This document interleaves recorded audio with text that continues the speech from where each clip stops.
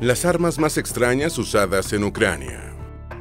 La guerra en Ucrania ha desatado una serie de eventos extraordinarios, donde el ingenio y la necesidad han llevado al desarrollo y utilización de armas realmente sorprendentes. En esta lucha por el control del territorio, Ucrania y Rusia han recurrido a todo tipo de armas, algunas de ellas muy extrañas e inesperadas. Se han desplegado innovadores vehículos blindados al estilo de Mad Max, morteros capaces de arrasar poblados enteros y letales rifles adaptados para el combate.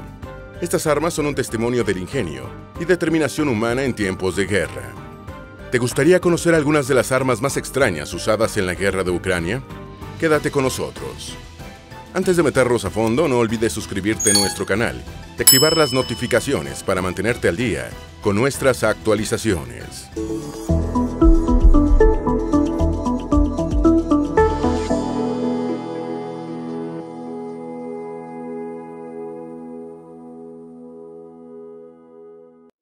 Los carros Mad Max hechos en Ucrania. En Ucrania están construyendo una flota de vehículos blindados similares a los de Mad Max, en honor a un soldado que perdió la vida. Son financiados por rumanos que fueron enviados al este de Ucrania. Eran originalmente autobuses públicos para residentes de la región de Pila, al norte de Polonia, pero ahora se convirtieron en hospitales móviles envueltos con acero y armadura de Kevlar. Están diseñados para servir como una instalación médica que se posiciona a pocos kilómetros de las primeras líneas. El proyecto está encabezado por Radu Josu, un activista de la ciudad rumana Brasov. Según Josu, este hospital móvil blindado fue ideado por primera vez por un paramédico ucraniano, conocido como El Ángel. Muchas de las muertes ocurridas en Ucrania ocurren durante el transporte de las tropas gravemente heridas hasta los hospitales lejos de las trincheras. Una de estas muertes fue la de un amigo de Josu, que murió en el camino desde el frente hasta el hospital más cercano. Oleg Kubal, el soldado fallecido, se había convertido en el ángel guardián de Josu en las trincheras. Josu quería convertir la tragedia en algo positivo, por lo que después de su muerte se sintió obligado en crear autobuses blindados para conmemorar a su amigo. El hospital blindado estará acompañado por otro camión con un compartimiento para que médicos y enfermeras se duchen y duerman. Según Josu, la compañía en Kiev que está construyendo vehículos personalizados no ha facturado nada más que los salarios de sus trabajadores involucrados. El propietario tiene problemas de salud y no puede estar activamente involucrado en la lucha, por lo que ha optado por contribuir a través de este proyecto. El complejo móvil Oleg Gupal ha sido financiado con un total de alrededor de 130.000 euros donados por rumanos, con la mayor parte del dinero destinado a la adquisición de equipos médicos y el blindaje de grado militar. Josu asegura que el blindaje no ha añadido mucho peso al vehículo, en comparación con cuando se utilizaba como un autobús público. En el mismo taller donde se construyeron los otros vehículos blindados, se está trabajando en un vehículo de extracción diseñado para alcanzar posiciones de primera línea y transportar a soldados heridos al hospital móvil. Este vehículo todoterreno es una mezcla de un chasis de camión de diseño soviético, una cabina de camión Ford estadounidense y una bahía de carga blindada personalizada. Josu ha expresado sorpresa por la cantidad de donaciones de romanos en varios proyectos de recaudación de fondos para la guerra en Ucrania. Incluso, jubilados han prometido 50 euros de sus pensiones mensuales, de 250 euros. La flota de vehículos blindados fue ideada para salir de Kiev y dirigirse hacia las zonas de combate en el este de Ucrania. KH-35, misil subsónico. En el aeródromo Baranovichi se pudieron observar siete aviones Su-34 equipados con misiles con un alcance de hasta 260 kilómetros. El Ministerio de Defensa de Bielorrusia publicó un video donde se pueden ver los ejercicios conjuntos de la Federación Rusa. Por lo menos siete aviones Su-34 se vieron en el aeródromo. Lo que llamó la atención del evento es que al menos uno de estos aviones contaba con misiles KH-35 instalados. Bielorrusia no tiene salida al mar, por lo que se cree que estos misiles son de la versión que cuenta con navegación satelital. El KH-35U fue utilizado en repetidas oportunidades contra objetivos terrestres en ataques contra Ucrania. El rango de efectividad de la versión estándar es de 130 kilómetros y de la versión U de 260 kilómetros. La masa de la ojiva es de 145 kilogramos, alcanza una velocidad de hasta 900 kilómetros por hora, tiene un costo estimado de 500 mil dólares. R-360 Neptune. Dos misiles ucranianos hundieron el Moskva, un buque insignia de la flota rusa en el Mar Negro. Rusia adjudicó el hundimiento a un incendio, pero la inteligencia estadounidense descubrió que fueron los misiles ucranianos quienes destruyeron al barco. Estos dos misiles eran Neptunes, un diseño del país basado en un antiguo antibuque soviético mejorado para el conflicto moderno. El misil, nombrado como el antiguo dios romano del mar, está basado en el KH-35 que fue desarrollado en el año 1972 por la Unión Soviética. Este misil viaja a una velocidad en torno a los 1000 km por hora, debajo de la velocidad del sonido, y vuela cerca del agua. El KH-35 usa una guía inercial que le permite saber a dónde debe ir y un radar activo que lo guía exactamente a la sección que debe impactar. Kiev comenzó con el desarrollo del Neptune en el año 2013 y realizó su primera prueba a comienzos del año 2018. La prueba fue exitosa y el misil logró impactar contra un objetivo a más de 70 kilómetros de distancia. En la última prueba su alcance aumentó hasta los 200 kilómetros. Este misil tiene un peso de 630 kilogramos, incluyendo su carga útil de 145 de explosivo. Este misil fue diseñado para destruir buques de guerra, fragatas y todo tipo de vehículos marítimos. Tiene la capacidad para ser útil en distintos climas, tanto de día como de noche, y atravesar contramedidas enemigas. De acuerdo a los relatos iniciales, el proceso de producción duró nueve años, desde el inicio del diseño hasta el hundimiento del Mosba. El misil tenía el alcance y la potencia requeridos para que un par de ellos pudieran destruir un gran barco enemigo, y no parece que los misiles hayan sido interceptados por ninguna medida defensiva. Tienen, sin embargo, ciertas limitaciones reales. Solo pueden impactar en alta mar, por lo que son vulnerables a los sistemas de contramedidas que bloquean los componentes electrónicos de los misiles. Otra forma de evasión es operar más allá del alcance máximo de estas armas. Este es el enfoque que adoptó la Armada rusa luego del hundimiento del Moskva. Comenzó a operar fuera del alcance de los misiles lejos de las costas del Mar Negro. En el contexto de la guerra naval, los misiles como el Neptune se consideran una herramienta clave en la estrategia de negación de área, un término militar que implica que la existencia de estos misiles así que aproximarse a su alcance sea arriesgado. Si una marina desea pasar por un pasaje disputado, sus barcos deben depender de sus propias defensas y probablemente querrán destruir los misiles antibuque primero. Debido a que los misiles Neptune se lanzan desde un camión especializado y pueden dispararse antes de que se produzca cualquier contraataque, el camión y los misiles pueden desaparecer rápidamente. El hundimiento del Moskva marcó un punto de inflexión que produjo que países como Taiwán invirtieran grandes en misiles antibuques. Es probable que cambie la forma en la que operan las armadas, además, para evitar los misiles. Mosin Nagat, M1891-30. Rusia ha enviado personas a la fuerza que luchen en la guerra contra Ucrania. Se cree incluso que la razón por la que no ha avanzado a un mayor ritmo en el país es porque estos reclutas no cuentan con suficiente experiencia. Según Reuters, fueron enviados desde Donbass y respaldados por Rusia sin ningún tipo de entrenamiento, un suministro bajo de alimentos y agua, y con rifles Mosin Nagat, un arma de cerrojo. Esta arma se desarrolló entre 1882 y 1891 y ha sido utilizada por varias fuerzas armadas, incluyendo el Imperio Ruso y la Unión Soviética. Con más de 37 millones de unidades producidas desde su creación, es uno de los rifles militares de cerrojo más fabricados en serie de la historia. Aunque el último modelo se produjo en 1973, esta arma antigua ha sido utilizada en diversos conflictos en todo el mundo hasta la actualidad. El rifle cuenta con un cargador interno de 5 tiros y cerrojo. Es conocido como el rifle de tres líneas y de manera informal como el rifle de Mosin. Tiene un cartucho original de 7,62 x 54 milímetros. M1910 Maxim los defensores de Bakhmut, una ciudad al este de Ucrania, utilizaron una ametralladora que se utilizó por primera vez hace casi 140 años. Ucrania es un campo de batalla peculiar donde se estrenó armamento avanzado como sistemas de defensa aérea y misiles hipersónicos. Es, además, un lugar donde los drones dominan el espacio aéreo. Sin embargo, también mostró que las tácticas antiguas y las armas probadas pueden ser útiles en un conflicto brutal como lo es este.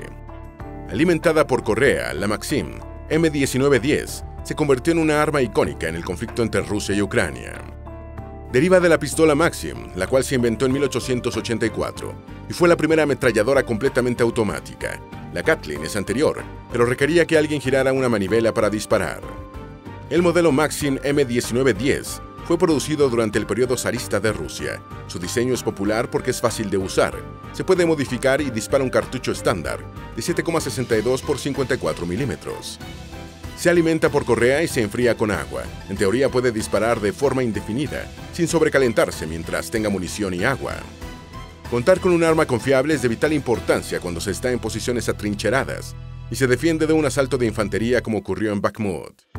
Los soldados ucranianos también han modificado la pistola Maxim para que dispare como un arma más moderna. La han equipado con una óptica, camuflaje, una culata y un silenciador.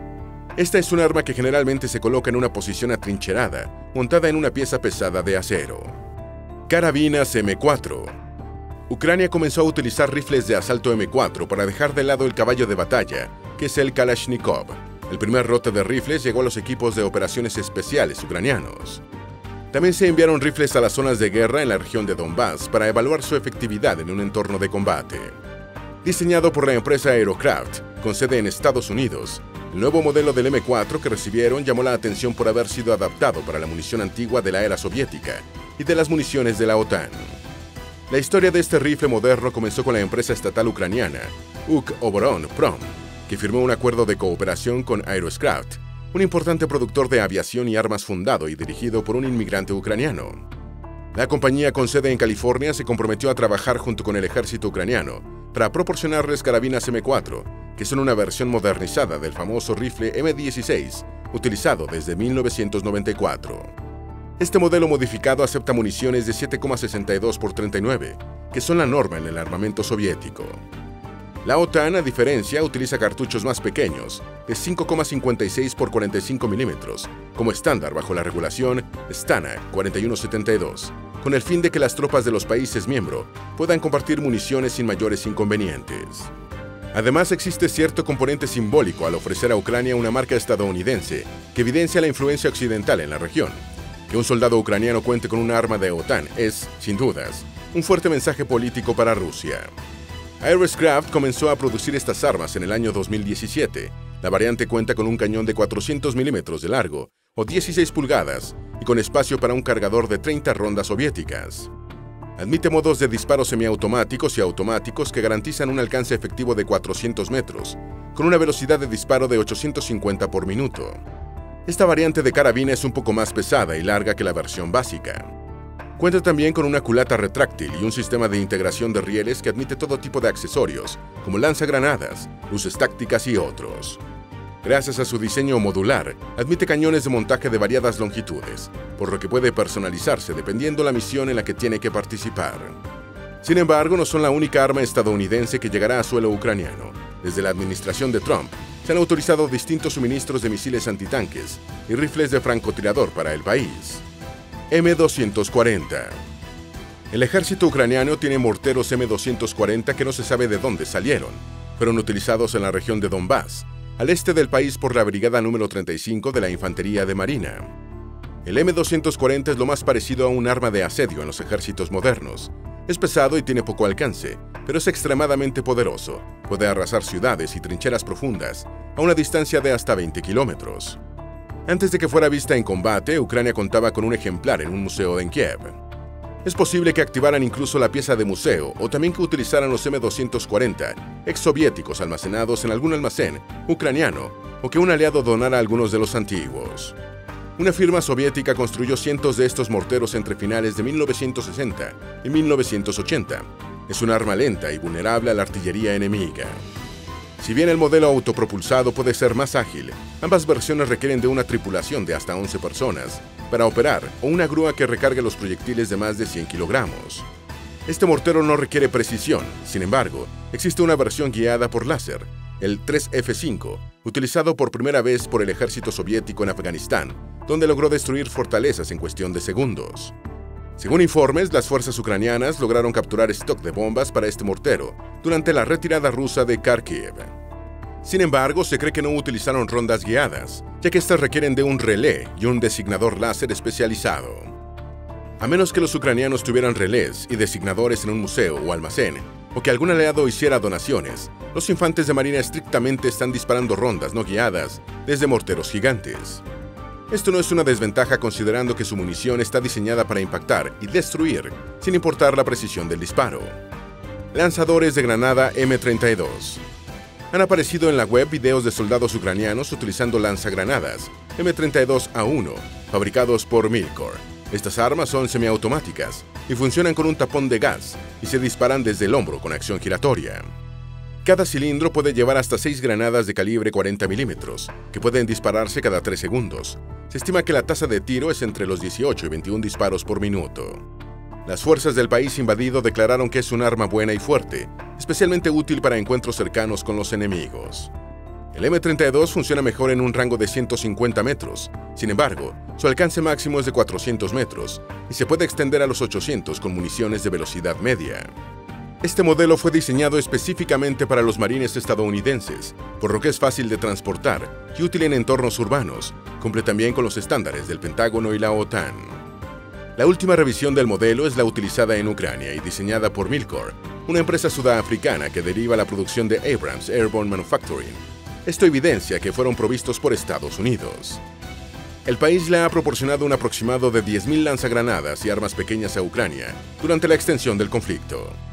M2 Browning Las Fuerzas Armadas ucranianas recibieron una versión moderna de la ametralladora M2A1, según han dicho analistas.